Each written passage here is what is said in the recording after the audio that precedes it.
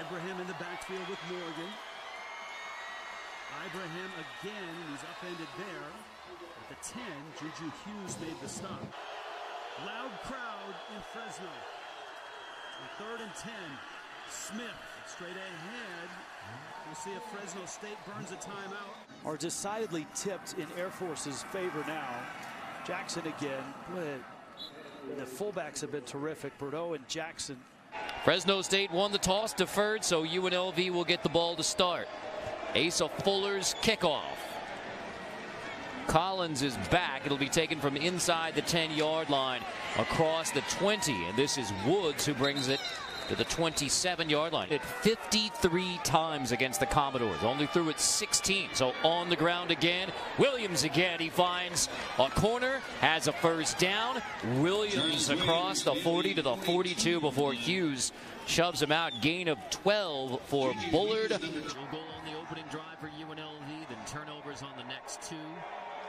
Driving against the Bulldogs. Old Black complete to the outside. Woods has it. Woods slips away. First down and more inside the 25. But moving the sticks, gain of 23. This is tackling out on the outside edge. Put the football in your playmaker's hands. Woods just simply runs around Chris Coleman, who did an excellent job, in my opinion, of tackling at times. They're a good one. Uh-oh. Uh, there's number five. All right, bring the graphic back up because now Juju Hughes to the defensive dogs with the fifth takeaway by Fresno State. Good Juju late night. And he got hit right as he threw it. But this is just an errantly thrown football. It was off target significantly. He was trying to get the ball to Steve Jenkins, and it just was nowhere near its target. And number five goes down in the books. Hmm.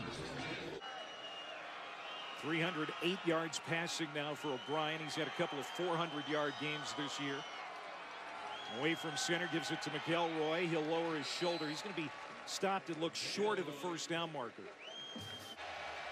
Big play here. Third down and eight. Rams want to throw.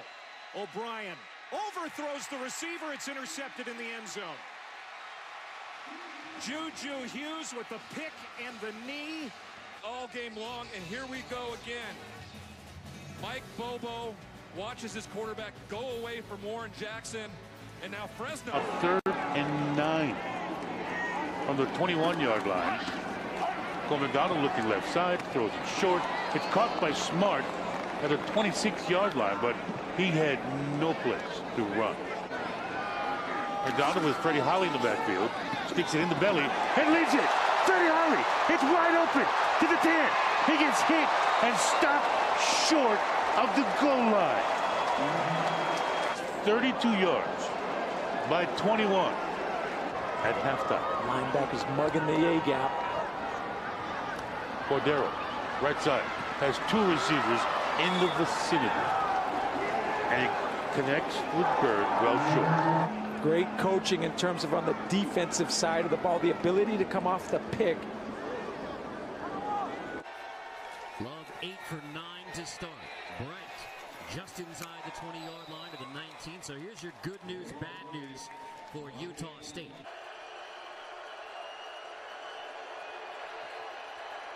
Love third and 11, pressured, complete, well short of the first down, the 25-yard line.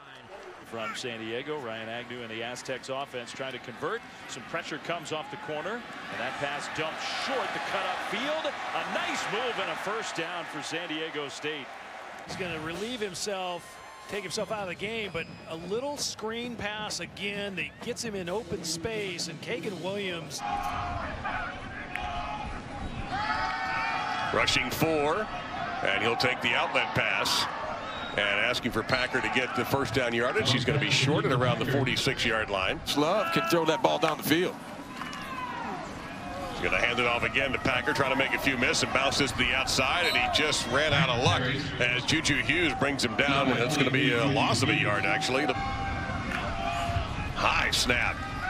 More pressure. Screen. Is it blocked well? Packer going to make one miss. Going to make a move. They've got him back at the original line of scrimmage. Maybe an extra yard to the 49-yard line.